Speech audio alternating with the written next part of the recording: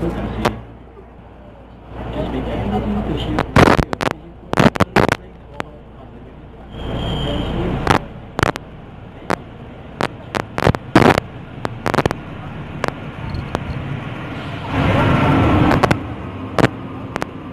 Thank you.